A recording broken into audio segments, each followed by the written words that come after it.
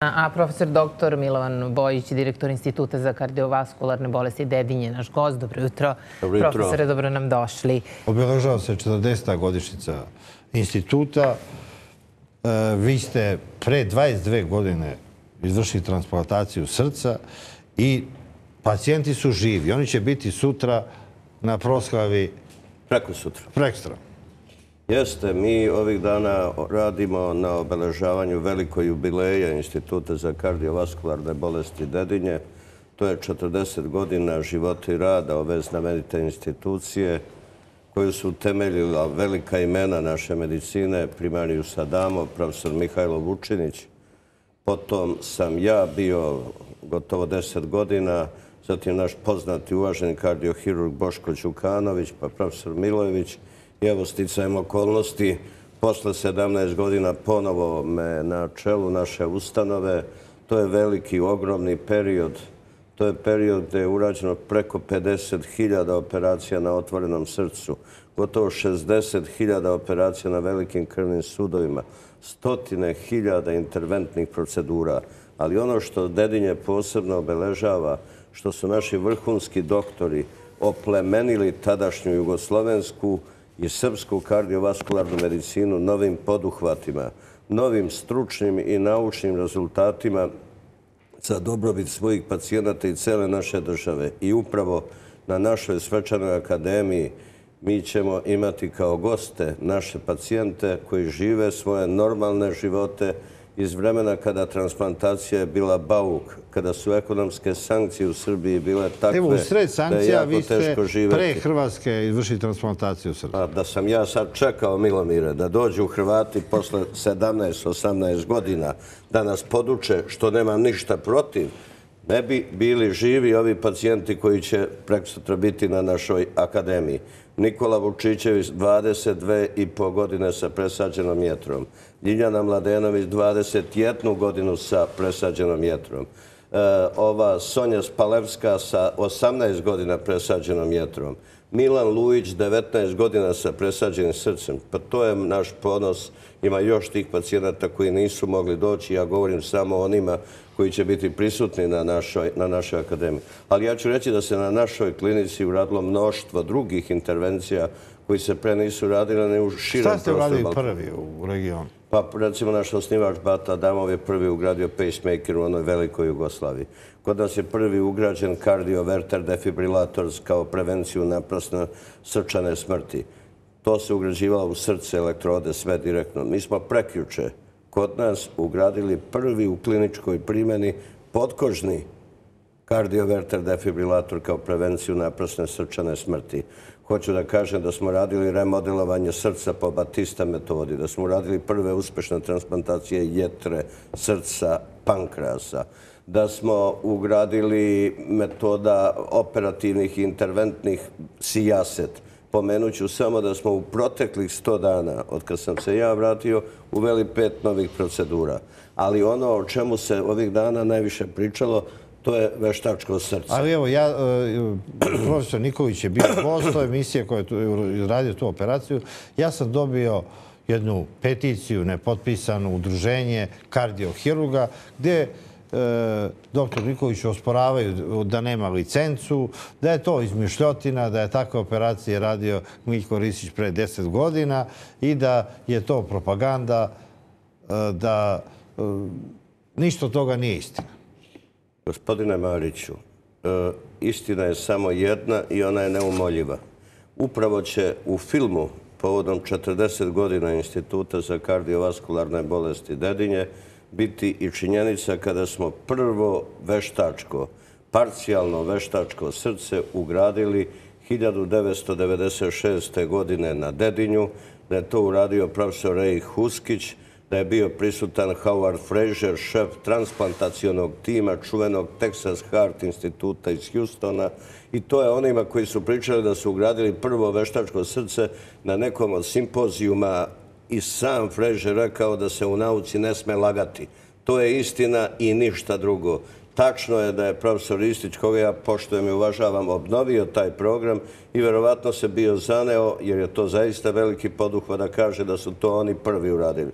Nisu, to je prvo urađeno na Dedinju. Mi smo to nastavili ove godine ponovo da radimo i pacijente sa parcijalnim veštačkim srcem imat ćemo također na našoj svečanoj akademiji. A ono što je uradio docent Nikolić, e, naš vrhunski kardiohirurg, i tomu mislim niko ne može osporiti, sujetna je naša branša i nauka i tako dalje. Najviše volim kada se ljudi potpišu. To je prvo totalno veštačko srce urađeno u regionu. Pritom mislim na Rumuniju, Mađarsku, Bugarsku, Makedoniju, Srbiju, Crnu Goru i Bosnu i Hercegovinu.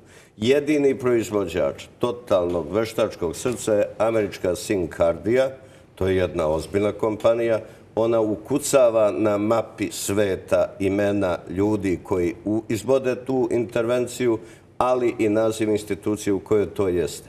Dakle, tu nema nikakvih dilema. To je urađeno na našem institutu, pacijent se odlično osjeća i jedno i drugo, i parcijalno i totalno veštačko srce su samo put ka transplantaciji srca i kod nas više od 30 pacijenata čeka da dobiju novo srce, nego nas nekako ne uvrštavaju da ponovo možemo to da radimo, pa se ja pitam zašto. Zašto? Da ne umemo, umemo, jer ovaj pacijent sa 19 godina preživljavanja je u samom svetskom vrhu. Možda je previše za direktora koji je 100 dana po drugi put na institutu da uradi toliko novih metoda. Nažalost, Aleksandar Nikolić eh, napušta institut i odlazi u prestižni nemački... nemački u tursku kliniku. Ne, to je u tursku. Bademsku kliniku i to ide za direktora klinike. Nama I sad on, prema ovom pismu, on ne zna da radi taj posao, nema licencu. Ja bih se prepustio lično, a dugo sam u medicini, evo gotovo četiri decenije, uvek da me Aleksandar Nikolić operiše kada je u pitanju... A otkud ta mržnja e, među lekara? Ne su lekari poštovali? Znate kako, uvek je bilo među lekarima sujete, uvek je bilo grabeži oko metoda i tako dalje. Možda postoji ličnih animoziteta, ali zbog naših pacijenata, zbog nas samih, zbog e, medicine, zbog napredka same medicine, to treba prevazilasiti. Najteže je raditi sa hiruzima. Mene je uvek Denton Artur Kuli, koji je bio deset godina pre eh, 97. Godine koji je bio 10 dana na institutu Dedinje. To je najveći kardiohirurg sveta. Ja ću samo reći da su na njegovom svakom rođendanu prisustovali svi živi predsjednici Amerike. Uvek me pitao, Milovane, kako izdržavaš sa hiruzima? Oni su teški, pošto sam ja internista kardiolog, ali uvek treba naći određenu meru i kanalisati sve to. U svakom slučaju, činjenica je neumitno je, znači da ono što smo uradili da je to istinito i mi to prikazujemo najširoj i laičkoj i medicinskoj javnosti uvek dostupnu da bude i medicinskih i drugih e, E, mišljenja koja mogu da budu protiv. Samo iz suprostavljenih mišljenja možemo doći do kvalitetnih naučnih saznanja i to u stvari zadatak nauke jeste. A mi se toga ne bojimo jer danas u naučnim publikacijama, danas u svetskim kongresima i simpozijima naša kuća je nezaobilazna. Mi smo samo u vremenu 2000. godine napravili jednu industriju nauke. Objavili smo 35 in extenso u celosti radova u najeminentnijem časopisu na svetu Circulation. Znači, naši rezultati nisu za osporavanje od domaće javnosti, oni su izloženi svetskoj javnosti, ali kao takvi oni su zaista, zaista verifikovani. Naša škola je priznata i uvažena. U ostalom, naš će i putem video bima pozdraviti upravo onaj koji je uradio koji je gledao kako smo ugradili prvo veštačko srce u Srbiji 1996.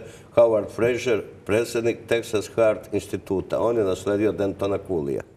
Pozdravit će nas i predsjednica Evropskog udruženja kardiologa i predsjednik Evropskog udruženja kardiohirurga.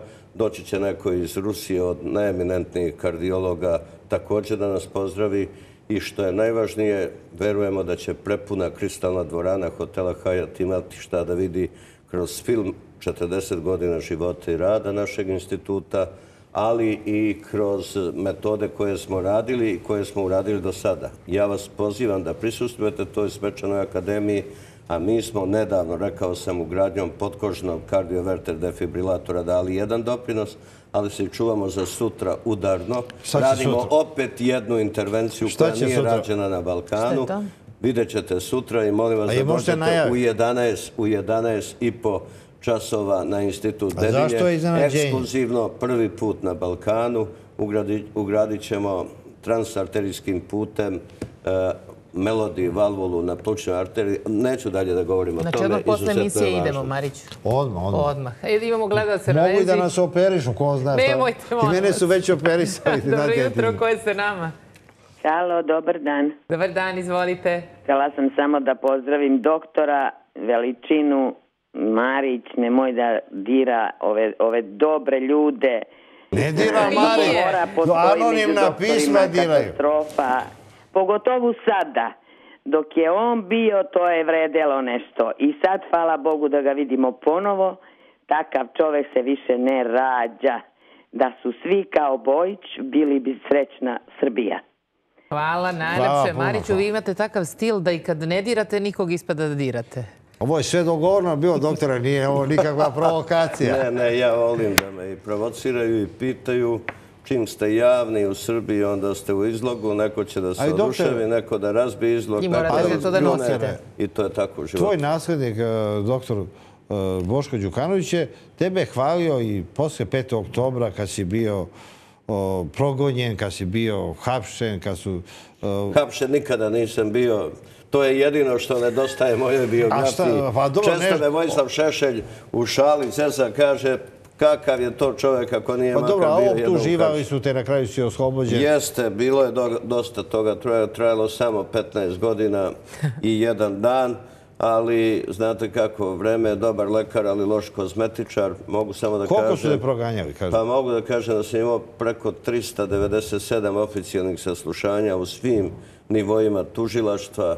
Imao sam e, 15 postupajućih veća, 19 tužilaca, 112 ročišta i in continuam. Znači, oslobođen sam od svih optužbi i ne zbog zastarevanja.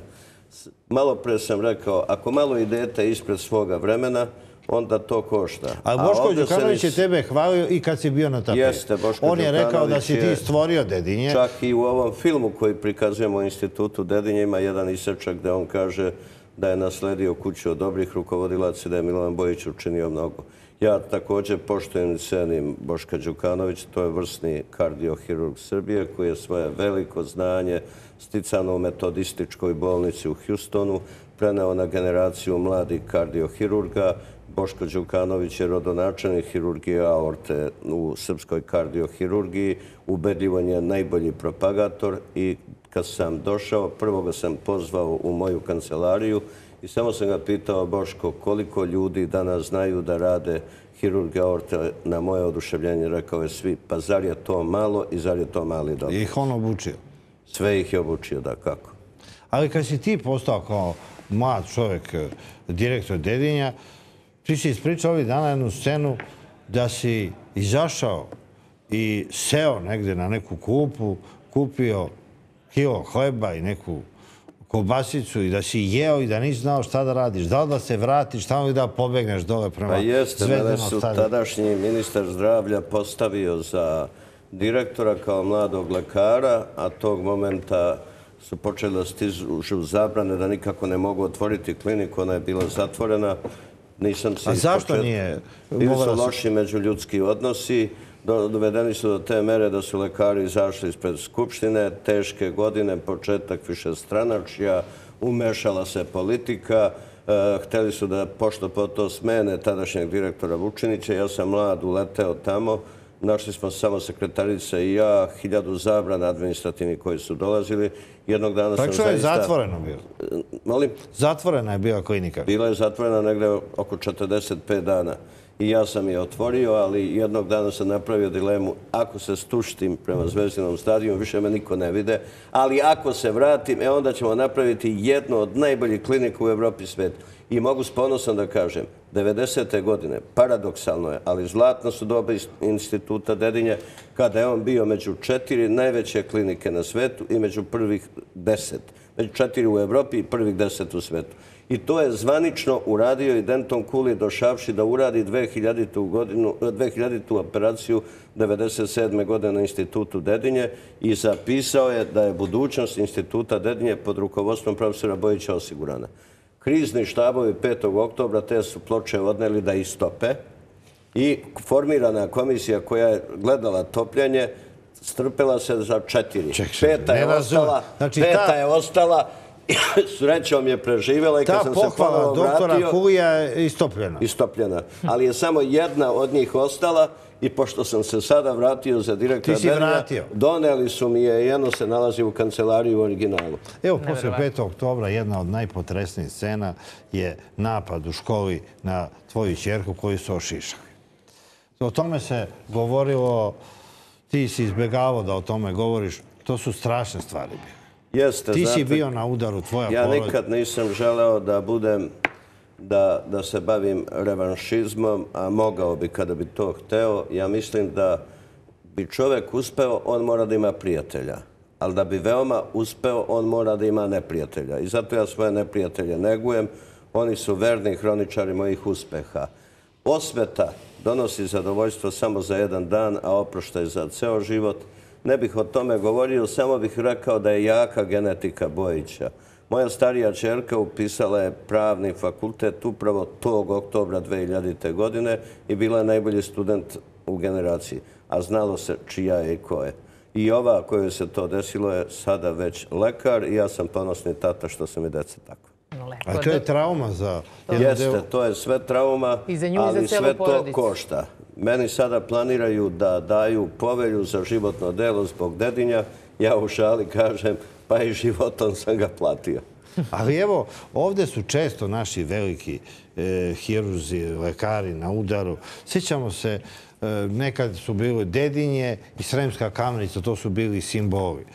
I profesor Ninoslav Radovanović, koji je Eh, imao i svetska priznanja, došao i švajcarski i on je se našao u jednom času na stubu srama, proganjali su ga, na kraju je morao da beži odavde. Ovo naša sredina ne priznaje velikane. Znate, ništa nije uspešnije od uspeha i ništa ne miriše kao uspeh. Ali s druge strane, uspeh se u Srbiji teško oprašta i on ima hiljadu bodlji i hiljadu bola. Vreme dobar lekar, ali loš kozmetičar. Nažalost, svi u Srbiji koji su želeli da povuku napred i da uspeju, imali su protiv sebe veliki odijum. Sjetimo samo Vuka Karadžića. Učio nas je i pismenosti, a protiv njega su svi bili u datom momentu i trenutku. I ne samo njega, i svih ostalih. Prema tome, cena uspeha jeste sve to. I ako to niste u stanju da podnesete, onda se time ne trebate baviti. Ja opet kažem, E, da sam ja čekao da nas neko nauči transplantaciju 95. godine, ne bi bili živeli, živi ovi ljudi koji su moj i naš ponos, koji sad imaju svoje porodice, svoju decu i tako dalje. Pa samo jedan ljudski život da spasete, to je najveći dar od Boga. Ali da ih spasite ovoliko, da uvedete metode, da naučite ljude, to je nešto što može najbolje i najlepše čoveku da se desi. Ali nije to, gospodine Mariću, moj naj, najdraži uspeh. Moj najdraži uspeh je što sam 2000. godine kao ministar zdravlja nadglasan od strane vlade Republike Srbije, jedan jedini protiv, smišljao metodu sa sekretarijatom za zakonodavstvo kako da zadržim u zemlju i primim hiljadu i po najboljih svršenih lekara, svršenih studenta medicine sa medicinskog fakulteta u Beogradu, Nišu, Kragujevcu i Novom Sadu. Kome je to sam. smetao? Uspeo sam vladi jer nije imala para i novca. I ja sam sve to završio, podelili smo im zaposlenja. Sjećamo se, to je bio u TV Dnevnik. Podelili smo ih zaposlenja. Uveče me zvao predsjednik Milošević. Milovane, ko će ovo da plati? Ja sam rekao Srbija. A ko ti je odobrio? Ja. Danas se oni nazivaju Bojićeve bebe i mogu slobodno reći da nose srpsku medicinu. To su uvažena imena naše medicine, docenti, Svi profesori. su postali ugledni Svi. uh, u svojim I to je moj najveći specijalnostima. ponos. A zašto je Milošević bio protiv? Mislio da nema pa. Nije, bilo je teško vreme i tada je jako teško bilo. Pa mogu vam reći da su tada naše devizne rezerve bile 257 miliona nemačkih maraka. To je izuzetno bilo teško vreme. Kako je bilo u tim vremenima voditi i Ministarstvo zdravlja i voditi institut? Nije bilo pa para, nije bilo... Ja sam, svi kažu, njega je gurao jul i država sipala para koliko je htjela. To je apsolutno netačno. A je li istina da si ti ušao u politiku da bi spasao dedinje i da bi spasao zdravstvo? Ne, nego je mene politika uzela kada sam ja već napravio dedinje. Svaka vlast, ma koliko bila autistična, ona hoće da uzme kvalitetne ljude i to je od nastanka politike. Ja sam dedinje pravio tako što sam našao zatvorenu baraku koju smo uvećali, u četvorostručili njene kapacitete, u repertuar medicinskih programa, pokupio najbolje doktore iz cele Jugoslavije, formirao onaj tim kakav je imala Crvena zvezda 1991. Zadržao taj tim... Čekaj, Crvena zvezda ti je bio ideal kako se formira. Tako je. Zadržao taj tim, obišao ceo region I u moje vreme nije se išlo u Tursku da se operiše, nego su Turci dolazili na dedinje da se operišu. Ostvarivali smo velike devizne prilive i novac od kojih smo mogli da živimo. Odatle su te plate Bojićevih doktora od 5000 evra i tako dalje. Moja želja i danas da institut ne radi samo rutinu, nego da bude na tržištu. Da se ovde dolazi, da se leči, da se stiču sredstva, da bude dobro za državu i za one koji ovde rade. Da se odustao od projekta Dedinje 2 koji je vodio profesor Boško Đukanović. Evo, imali ste... Dedinje 2 je Boško probao da nastoji da realizuje. Dedinje 2 sam ja već bio osmislio, iskopao rupu, zove se Bojićeva rupa. Kraj filma sam govori, govori, Boško je bezuspešno pokušavao, kao i ja ovih sto dana, da se realizuje projekat Dedinja 2. I jednostavno, evo ovih sto dana, lakše mi je bilo da ugradimo totalno veštačko srce i uvedemo pet novih procedura u srpsku medicinu, nego li da ishodujemo podstavljenje kamena temeljca za zgradu Dedinja 2. A vi imate te pare na računu, dobar deo? E, mi imamo pare na računu, ali ja znam da se danas u srpsko zdravstvo ulaže više nego u proteklih 50 godina. Ja sam pre svega zahvalan predsjedniku Vučiću koji stalno apostrofira da srpsko zdravstvo treba revitalizovati i uzdignuti. Ja poštujem taj veliki investicioni zamah Ministarstva zdravlja i predsjednikov lično kroz klinički centar u Nišu. Ja također znam da se na listi prioriteta nalazi zgrada Dedinja 2. Ali naš predmet nekako luta, pluta, e, šeta ili drema po fiokama različitih ministarstava. Ja hoću da verujem da naša proslava, da taj veliki dan, da ta energija koja iz njega izvira će iskristalisati taj datum konačno i da će se krenuti u realizaciju i gradnju Dedinja 2 pre leta ove godine. Evo, ja ću još e, da se zahvalim gledalcu na srpljenju. Imamo još jednog gledalca na vezi koji želi da se uključi. Dobro jutro. Dobro jutro. Poštovanje, izvolite. Pozdrav svima u studiju. Hvala. Ovde supruga Tutuš Nikole, kome je doktor dao život, operiso ga, koji sad živi dosta kvalitetno. Šta god da kažem, malo je. Hvala mu od srca. Boga poživeo hiljadu godina. Kada je suprug imao operaciju? Pre pet godina. Trošruki bypass. I sada je, hvala Bogu, dobro? Pa ide normalno na kontrole. Solidno je, ali živi kvalitetno. Nije invalid. Hvala što ste se javili, profesore. Mislim da je ovo najviši kompliment za jednog stručnjaka. Hoću da vas pozovem da sutra učestvujete svojim prisustvom u novom poduhvatu koji ćemo široko objasniti i medicinskoj i laičkoj javnosti i prečuta se obavezno vidimo u 10 sati u hotelu Hayat na našoj svečanoj akademiji koji će prisutovati državni vrh, kulturni, javni radnici, akademici, kolege iz inostranstva, a posle toga imamo interaktivni simpozijum, doprinos instituta Dedinje, svetskoj e, nauci i znanju. Kad pričamo o svetu, evo najnoviji članak u Blicu dana, Srpsko zdravstvo na 20. mesto u Evropi. Srpski zdravstveni sistem zauzima 20. mesto na listi evropskih zdravstvenih sistema za 2017. A iza naše zemlje se nalazi čak 11 e, zemalja koje su članice Evropske unije. Mi smo ovde rang Italije, tako smo... I u protekle četiri godine poboljšali smo plasma na listi za čak 14 pozicija. Veliki uspeh Veliki uspeh našeg zdravstva, našeg ministarstva zdravlja i svih ljudi koji učestvuju u ovom poslu. Ja znam kako se ta indeksacija pravi. Bio sam ministra zdravlja. Koliko, ako me sećanje služi, pre nekoliko godina uopšte nas nije bilo. Nismo Čekaj, se nismo mogli ni bili na rangirati. listi uopšte. Nismo se mogli rangirati. To je veliki uspeh. Izjednačiti se sa jednom Italijom koja je jedna super sila, zemlja sa 60 miliona stanovnika, sa razvijenom zdravstvenom mrežom, sa razvijenim svim granama medicine, to je veliki, veliki uspeh. I ostvariti od hiljadu mogućih 670 i ne znam koliko bodova zaista za svaku pohvalu. Profesore, mnogo hvala na gostovanju u našem jutarnjem Hvala i programu. Hvala Puno uspeha i ćemo se sreće i pridru- sutra. pridružiti. Hvala, hvala, očekujem vas. Vašoj rado. godišnjici, pa izvolite i vi i najveći lekari i hiruzi sa vaše instituta neka dođu kod nas. Hvala puno. I mi smo sve ove nedoumice e, razbistrili, tako da nema zabranjenih pitanja. Tako. Nema, nema, nema kod mene nikako. Sve pitajte, sve je dozvoljeno. Da, hvala puno. I lepo ste ono rekli, mislim da su to mnogi zapamtili, da su e, neprijatelji da negujemo, jel? Jer su oni Tako hroničari uspeha. tako Dobro. tako. Da nije njih, ne bi bilo ni uspjeha. Tačno. Tako je.